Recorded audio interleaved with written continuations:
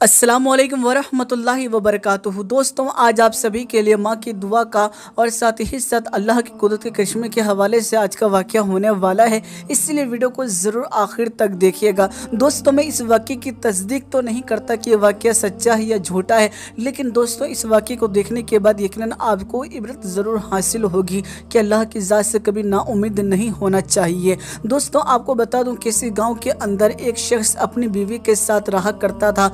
काफ़ी ज़्यादा मिन्नतें समाजतों के बाद अल्लाह ताला ने उनको एक औलाद की नेमत अता की। दोस्तों, वो जो औलाद थी, वो कोई और नहीं, उनका बेटा था। ऐसे में आप सभी को बता दूँ, कुछ ही दिनों के बाद अचानक ही शोहर का इंतकाल हो जाता है। अब बीवी जो है, वो तनहा हो जाती है और साथ में उसका एक बेटा होता है। बड़ी ही मुश्किलों के साथ माँ जो है, वो अपने बच्चे की परवरिश करती है। वक्त गुजरता रहता है और ऐसे में माँ जो है, वो हमेशा अपने बेटे के सामने ये बात कहा करती थी कि बेटा मैंने तुम्हारी हर ज़रूरत को पूरा करा है, लेकिन मैं चाहती हूँ कि तुम मेरी एक ज़रूरत को पूरा कर दो। यानी मैं अपने शोहर के होते हुए तो मक्का मदीना यानी हज की अदायगी करने के लिए ना जा सकी, लेकिन मैं चाहती हूँ कि तुम मेरी ये ख्वाहिश को पूरा करो और मुझे यकीन है अल्लाह के ज़ात के ऊपर वो ज़रूर तुम्हारे ज़रिए ही कोई ना कोई ऐसा ज़रिया बनाएगा कि जिसके ज़रिए हम लोग हज की अदायगी करने जाएँगे। दोस्तों, बचपन से ही बेटा जो था, वो इन बातों को सुन रहा था और ऐसे में बच्चे के दिल के अंदर ये बात पूरे तरीके से बैठ गई कि यकीनन मेरी माँ ने मेरे लिए बहुत कुछ सहा है और बड़ी ही परेशानियों के साथ, बहुत ही ज़्यादा मेहनतों के बाद उसने मुझे पाल पोस कर इतना बड़ा किया है। ऐसे में चाहे मुझे कैसे भी जॉब मिले, कैसा भी काम मिले, मैं ज़रूर वो काम करूँगा और धीरे धीरे करके पैसा जमा करूँगा ताकि मैं अपनी माँ की ख्वाहिश को पूरा कर सकूँ और माँ जो है वो हज की अदायगी कर सके। दोस्तों, बड़ी मुश्किलों के बाद उस शख्स की जॉब लगती है और वो वहाँ बड़ी ही मेहनतों से काम करने लगता है। मेरे प्यारे दोस्तों बहुत ही ज़्यादा मुश्किलों के बाद थोड़े थोड़े पैसे जमा होने लगे और आखिरकार कुछ सालों के बाद आधे पैसे हज की अदायगी करने के लिए जमा हो गए। लेकिन दोस्तों तभी अचानक उसी के ऑफ़िस में एक शख्स था जो कि उस लड़के का दोस्त था। अचानक ही वो जो दोस्त है, वो उस लड़के के पास आता है और कहता है कि मुझे अचानक ही पैसों की ज़रूरत पेश आ गई है और मैं बहुत लोगों के पास गया हूँ। किसी ने मेरी मदद नहीं की है। अगर मुझे पैसे ना मिले तो ऐसे वक्त में मेरे बेटे की हालत जो है, वो बहुत ज़्यादा ख़राब हो जाएगी और उसकी मौत भी वाक़ हो सकती है।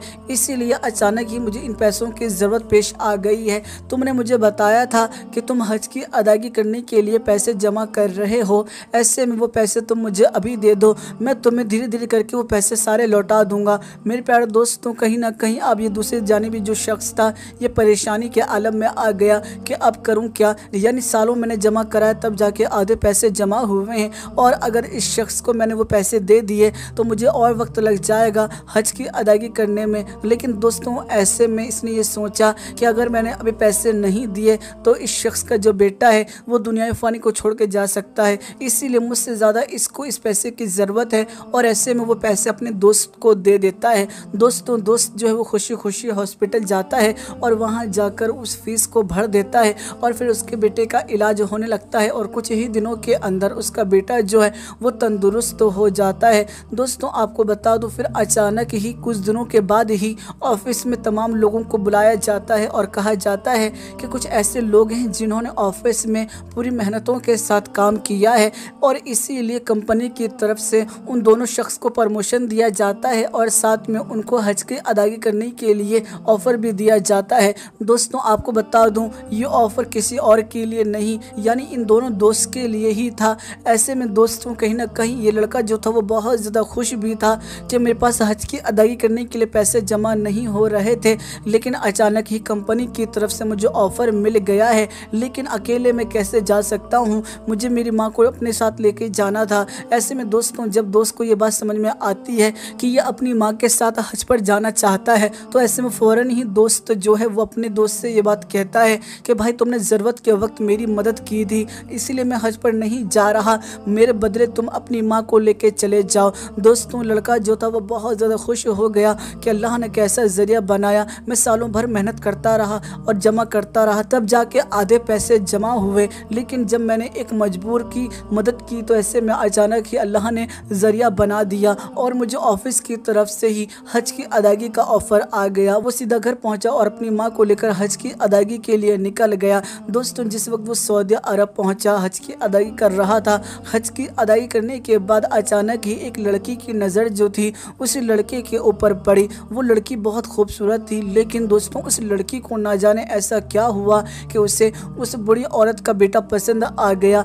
ऐसे में दोस्तों वो लड़की जो थी वो अपने माँ बाप से कहने लगी कि मुझे लड़का पसंद आ गया है, मैं इससे ही निकाह करना चाहती हूँ। ऐसे में दोस्तों लड़की के माँ बाप जो थे वो कहने लगे कि हमें नहीं मालूम कि ये कहाँ के रहने वाले हैं, कौन हैं, लेकिन अगर तुम्हें ये लड़का पसंद है तो हम जाकर इसकी माँ से बात करते हैं। दोस्तों, ऐसे में लड़की के माँ बाप जो थे, वो उस लड़के के माँ के पास जाते हैं और तमाम बात रखते हैं। ऐसे में दोस्तों, लड़की की जो माँ होती है, वो ये बात कहती है कि मुझे ये रिश्ता मंजूर है, क्योंकि मेरे पास वक्त भी अब बहुत कम है। मुझे नहीं मालूम कि मैं कब दुनिया को छोड़ के चली जाऊँ।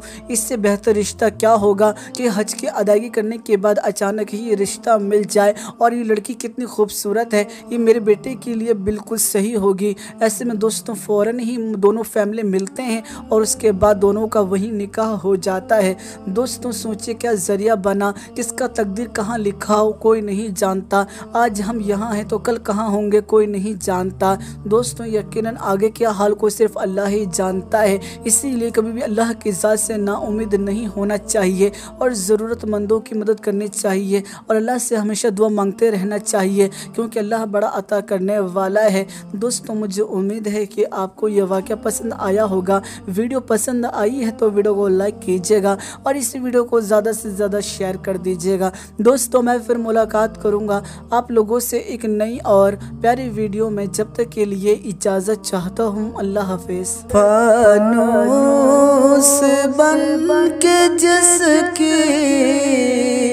हिफाजत हवा करे।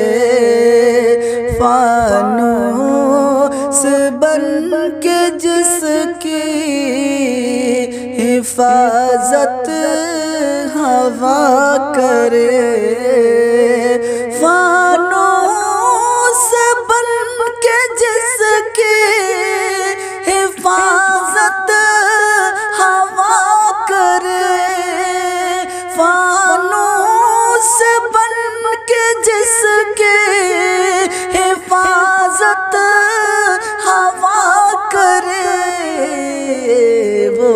शम्मा क्या बुझे जिस रोशन खुदा करे वो शम क्या बुझे जिस रोशन खुदा करे फानूस बन के जिसकी हिफाजत हवा करे